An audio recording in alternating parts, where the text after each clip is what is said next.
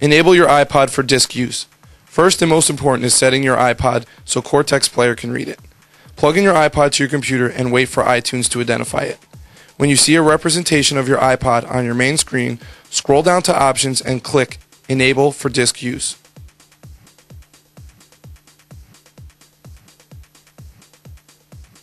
To convert AAC files to MP3 within iTunes, select Edit, Preferences, select the Advanced tab. Now select Importing and change Import using AAC encoder to MP3 encoder. Now click OK. In the music section, select Control A to highlight all music, right click, and select Convert Selection to MP3.